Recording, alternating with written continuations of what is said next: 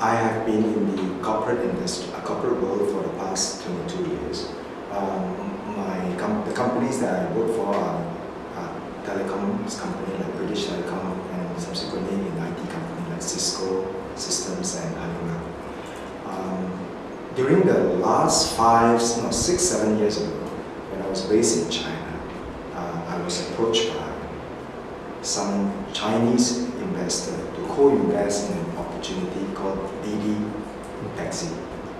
At that time, um, the whole angel investment scene is very new, uh, not just in Southeast Asia, but in China as well. That was back in 2010. Of course, I missed that opportunity, and Didi becomes much, much, much bigger company. I came back to Singapore, uh, and I went for an MBA program, and in there we discussed a lot about startups and what it takes to, you know, to start up a, a business from scratch. Uh, there is a, there is a, certainly a lot of interest and you know in terms of um, starting up a company. Uh, and I and I also noticed that not just young people who just come out from college, but also uh, mid-career professional who decided to leave the uh, the corporation job they were, they were in before and and actually dive into uh, starting a business. Uh, I got involved in angel investment by now it's been about three years already. And uh, in that process, I have invested in three, now four companies.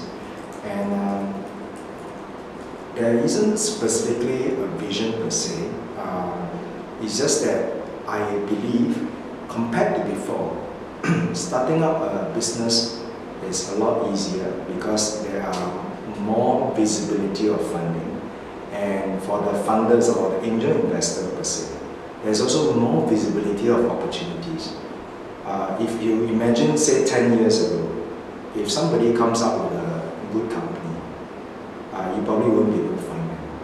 But now there are a lot of platforms and um, accelerators, uh, pitch events and stuff like that, which avail all these young companies or startup companies to angel investors. So those opportunities are then present to us. Otherwise, we wouldn't, we wouldn't, know them, right? Yeah. So that's the that's the that's that's the timing of it. The angel investment scene uh, in Singapore has gone a long way. I joined uh, BANSEA, which is called Business Angel Network Southeast Asia, and this this um, club has been in existence for more than ten years. It's actually spin-off from uh, Spring of Singapore, Spring Singapore and uh, later on become a, it becomes an independent club. The membership, um, uh, what do you call it, um, ebbs and flow. Sometimes there are a lot of members, sometimes there are less members, but recently we are seeing, seeing uh, increasing trends in, in the membership in, in, in. So naturally, uh, you can say that there's actually more, more of such club that is being created in Singapore. The angel investors tends to invest in opportunity in Singapore. However, there are good opportunities that uh, do comes do comes abroad from say Korea. Uh, some university actually conduct this pitching session to our members uh, from some Korean university, for example. Mm, I also noticed that the angel investment scene in the Indo-China area is starting to grow.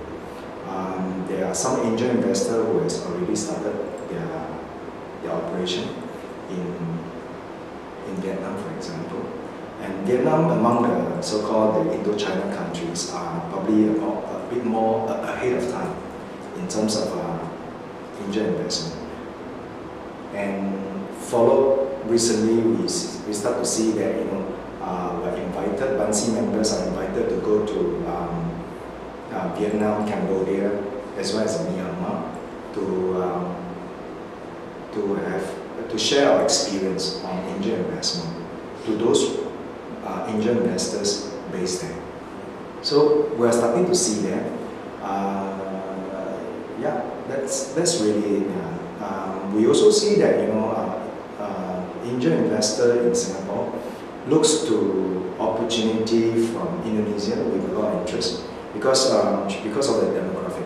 It's a 200 million population, and it has a lot of potential for for a company to scale very rapidly.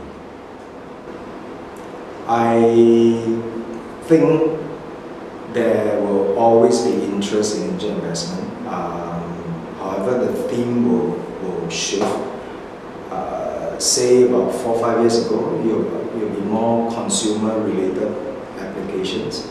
And increasingly, we are finding um, companies that goes more enterprise scale, in others in medical tech, uh, financial technology, and stuff like that.